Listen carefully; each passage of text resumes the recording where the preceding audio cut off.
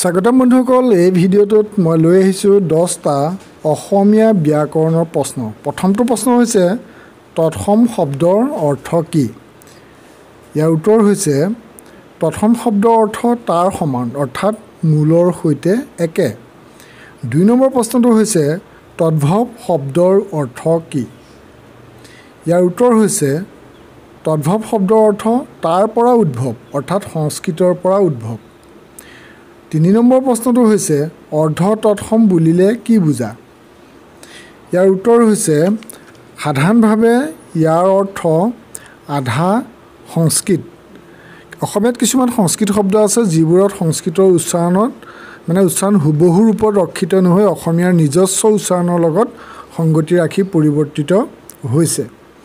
এইবাৰ চাৰি নম্বৰ প্ৰশ্নটো লৈছোঁ। চাৰি নম্বৰ প্ৰশ্নটো হৈছে শ্ৰাদ্ধ শব্দৰ অৰ্ধ তৎসম ৰূপ কি? মানে সংস্কৃত যি শ্ৰাদ্ধ শব্দ আছে ইয়াৰ উত্তৰটো হৈছে শৰাধ। পাঁচ নম্বৰ প্ৰশ্নটো হৈছে অসমীয়া ভাষা মূলতঃ কি মূলীয় ভাষা? ইয়াৰ উত্তৰ হৈছে আৰ্যমূলীয় অৰ্থাৎ অসমীয়া ভাষা আৰ্যমূলীয় ভাষা। ছয় নম্বৰ প্ৰশ্নটো হৈছে অসমীয়া ভাষাৰ সংস্কৃতমূলীয় শব্দবোৰ কেই প্ৰকাৰৰ? ইয়াৰ উত্তৰ হৈছে তিনি প্ৰকাৰৰ। আপোনালোকে গম পাইছে তৎসম তদ্ভৱ আৰু অৰ্ধ তৎসম। সাত নম্বৰ প্ৰশ্নটো হৈছে সংস্কৃত তৎসম শব্দ স্নেহৰ অৰ্ধ তৎসম ৰূপ কি? ইয়াৰ উত্তৰ হৈছে চেনেহ এইবাৰ মই পিছৰ প্ৰশ্নটো ল'ব বিচাৰিছোঁ। পিছৰ আঠ নম্বৰ প্ৰশ্নটো হৈছে যত্নৰ অৰ্ধ তৎসম ৰূপ কি? ইয়াৰ উত্তৰ হৈছে যতন।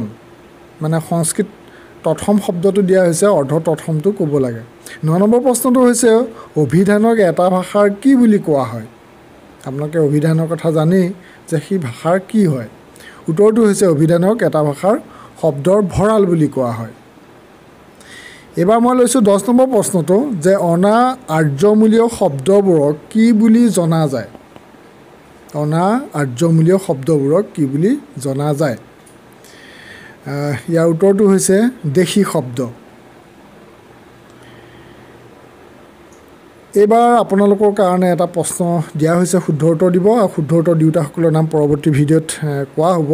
প্ৰশ্নটো হৈছে অন্য শব্দৰ অৰ্ধ তৎসম ৰূপ কি? অন্যটো হ'ল এটা সংস্কৃত তৎসম শব্দ। তাৰ অৰ্ধ তৎসম ৰূপ কি? আপোনালোকে উত্তৰ দিব আৰু পৰৱৰ্তী ভিডিঅ'ত শুদ্ধ উত্তৰ দিওঁতাসকলৰ নামৰ লগতে ৰেণ্ডমলি বাছি উলিওৱাসকলৰ নাম মই ঘোষণা কৰিম। যি নহওক বন্ধুসকল এই ভিডিঅ'টো মই দহটা অসমীয়া ব্যাকৰণৰ প্ৰশ্ন ল'লোঁ। ভিডিঅ'টো কেনে পালে জৰুৰ কমেণ্ট বক্সত আপোনালোকে জনাব।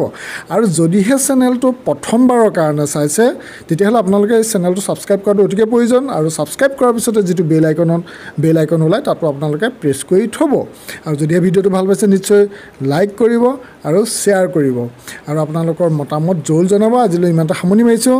অন্য এটা ভিডিঅ'ত পুনৰ লগ পাম। থেংক ইউ ফৰ ৱাটছিং জয় আই অসম। জয় হিন্দ।